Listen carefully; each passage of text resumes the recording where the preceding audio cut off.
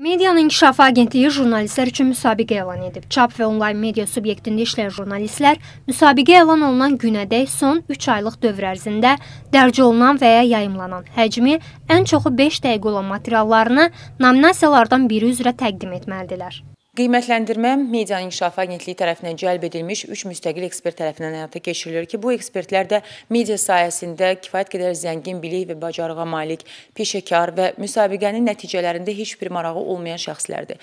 Müsabiqənin yekununda çap və onlayn media subyektlərində çalışan jurnalistlər, onlar üçün nəzərdə tutulmuş nominasiyaların hər biri üzrə 5 Audiovizual media subyektlərində çalışan jurnalistlər üçün nəzərdə tutulmuş nominasiyaların hər biri üzrə 2 jurnalist və 2 operator olmaqla ümumilikdə 4 qalib müəyyən edilir və mükafatlandırılır. Onu da qeyd edim ki, ilk dəfə olaraq operatorların da əməyi qiymətləndirilir. Çünki nəzərə alsaq ki, reportajda jurnalistlə yanaşı, yəni yazı ilə yanaşı onun video ə, görüntüsü də ə, ərsəyə gəlir və burada operatorun əməyinə ə, xüsusi qiymətləndirmişik ki, onun üçün də ə, yer ayırmışıq. Hər bir jurnalist 700 manat məbləğ məbləğində, hər bir operator isə 350 manat məbləğində pul mükafatı ilə mükafatlandırılacaq.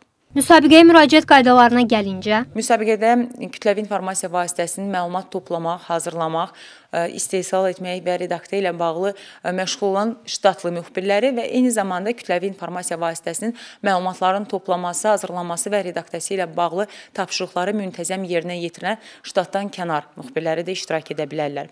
Müsabiqədə iştirak üçün müraciət və ona əlavə olunan sənədlər elektron qaydada, yəni elektron informasiya bankında qeydiyyatdan keçərək şəxsi kabinetin yaradılması və məlumatların ora daxil olması vasitəsilə və yaxud da ki, kağız daşıyıcıda media İnkişaf Agentliyinə təqdim etməklə həyata keçirilir. Qeyd edək ki, müraciətlərin qəbulu cari ilin iyun ayının 8-dən 18-nə dək həyata keçirilir. Nəticələrin Milli Mətbuat Günündə açıqlanması nəzərdə tutulur.